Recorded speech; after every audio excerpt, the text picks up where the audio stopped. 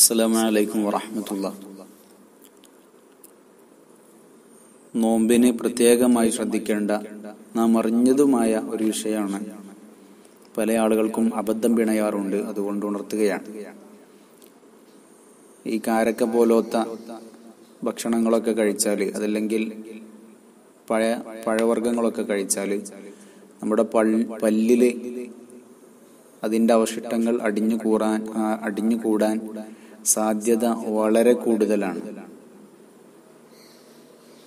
ഏതുപോലെ കാരക്കൊക്കെ കഴിച്ചിട്ട് നമ്മൾ ശരിക്ക് ബ്രഷ് ചെയ്തിട്ടില്ലെങ്കിൽ നമ്മുടെ പല്ലിന്റെ ഇടയിലൂടെ അതിങ്ങനെ അള്ളിപ്പിടിച്ചിരിക്കുന്നത് കാണാം.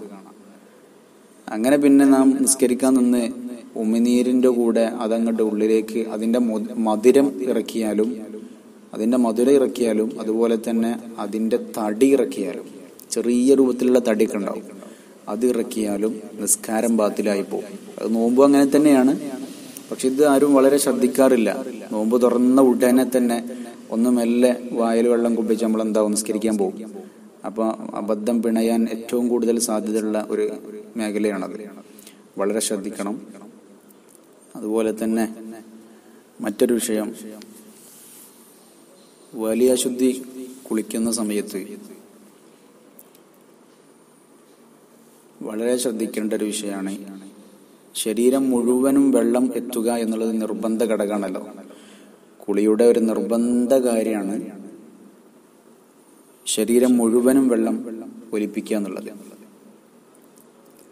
അപ്പോ സ്ത്രീകളാകുമ്പോൾ വലിയ മുടിയൊക്കെ ഉള്ള ആളുകളാണ്.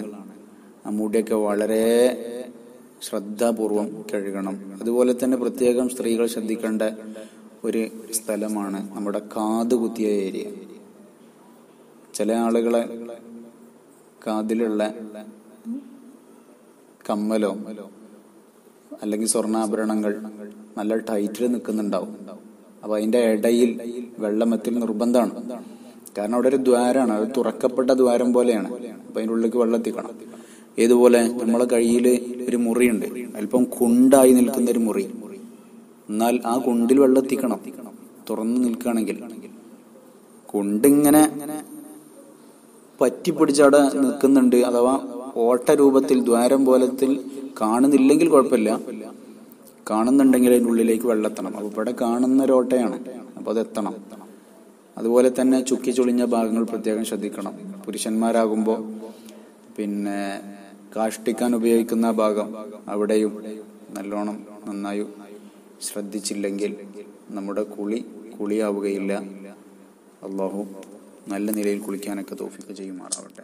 അസ്സാം വലൈക്കും